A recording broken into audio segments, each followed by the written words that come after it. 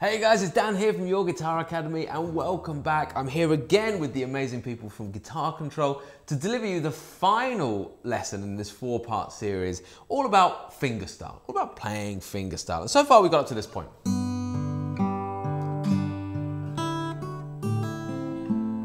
Three, four.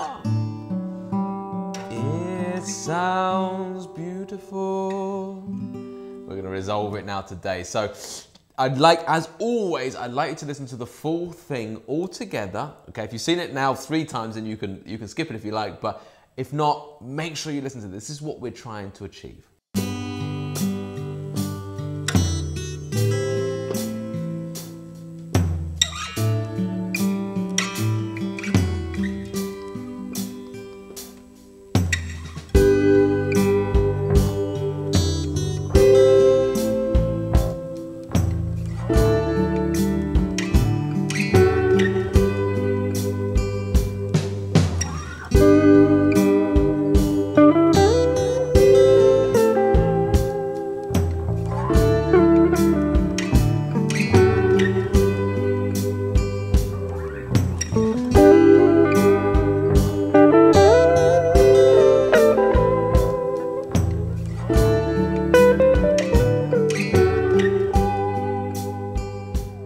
As you've now heard that loads of times, hopefully the melody is really deeply stuck in your head.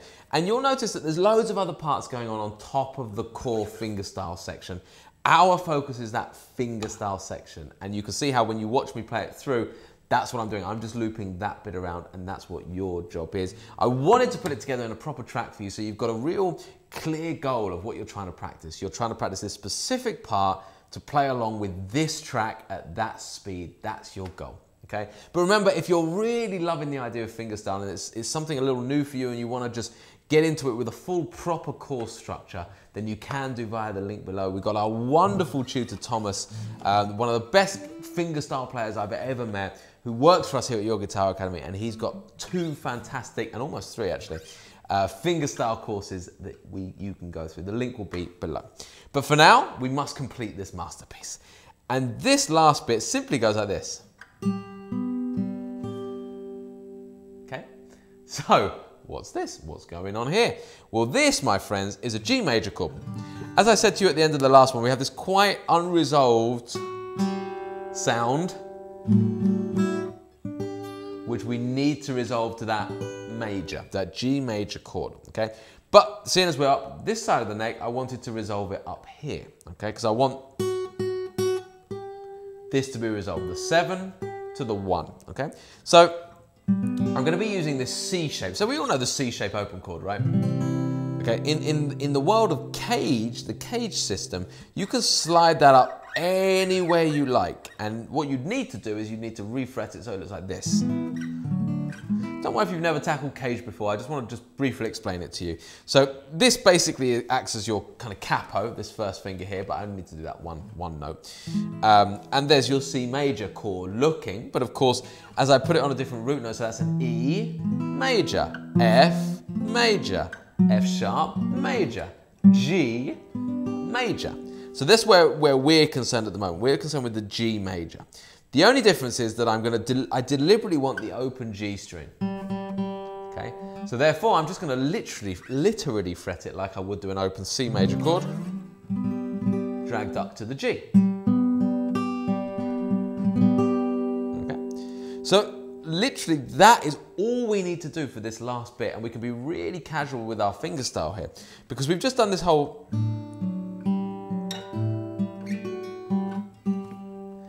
then we're going to kind of resolve it like this, okay? So what I love about this chord is the resolve is so hard because we've got a G, an open G, and a G. So we're literally playing G, G, G. Okay, so octaves of G. Plus we've got the major third. Okay, really nice. We don't have the fifth in there anywhere. Really lovely, nice, easy to play chord, and it sounds very resolved. Um, so the way we're actually going to physically play that is we're going to pluck the G on the 8th fret and the 10th fret of the A and the B string, like we've done at the start of every single other bar up to now. Those two go together. And then once you've fretted the chord, you're just going to literally drop down, Okay? Thumb, first, second finger, like this.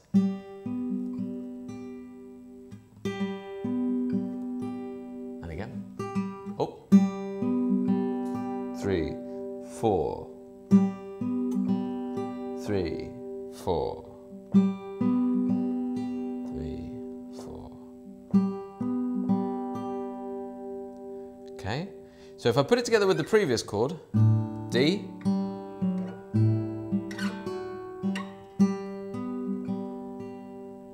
like that, again, D,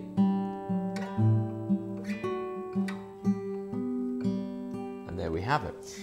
If I put that together with the whole thing, we've got this now.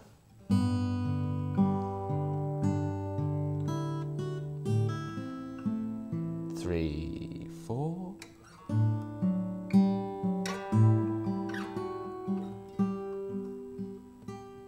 And again.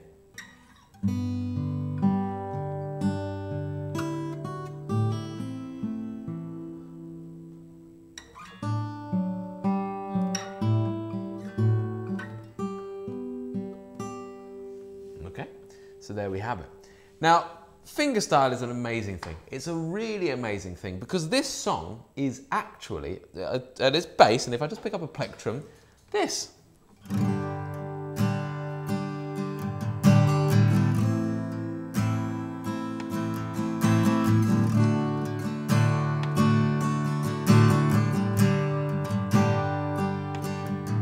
Again.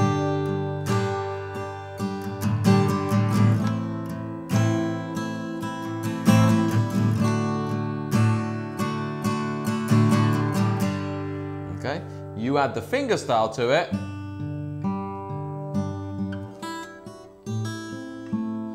Look how much more interesting that sounds.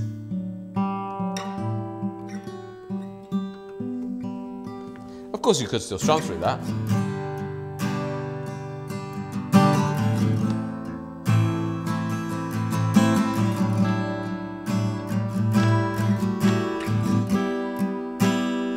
Get a very different sound because with the finger style, I can highlight the notes I want and highlight the notes I don't want. Of course, with the strumming, I don't really want that whole chord like that. But with fingerstyle, I, I know I'm just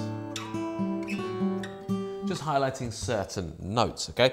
And this is not me just trying to sell fingerstyle to you in general. I just wanted to show you why I love it so much, okay? You can start to really create something whereby you've got a, a rhythm part, a bass line, a melody, all in one super cool idea. And that's just something really basic that I wrote um, just to teach you guys so you can get a bit of a head start with it.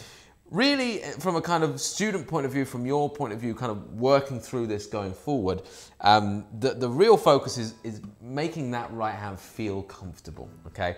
Um, it's at first, it, it feels bizarre, it feels nuts, it feels like you're totally out of control. But it just takes a few weeks, perhaps a few months of of doing the same thing over and over again. You know, just like it did when you first maybe picked up a pick and started working on strumming. And this probably felt very foreign to you as well. The first time you put your fingers down to create an open chord, that probably felt extremely foreign. Same process. We have to just go through it over and over again. Lots of consistency, lots of repetition, okay? Use this song as like a bit of a benchmark. Learn it exactly as I've shown it to you. And gradually, gradually, You'll get familiar with some of the ideas with the left hand, but more importantly, the right hand will start to settle and feel very comfortable, okay? So there we have it, guys. Make sure you go ahead and download the tab and the workbook is absolutely free.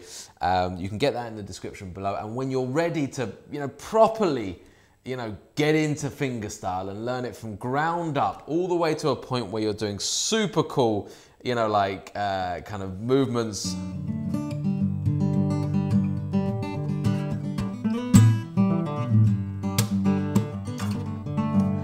this kind of stuff as a basic. Um, we're going to show you through that in our fingerstyle courses, and the link will be available for them below as well. So I wish you all the best. It's been an absolute pleasure once again to be on the Guitar Control YouTube channel. Uh, my name is Dan from Your Guitar Academy, and I'll see you next time.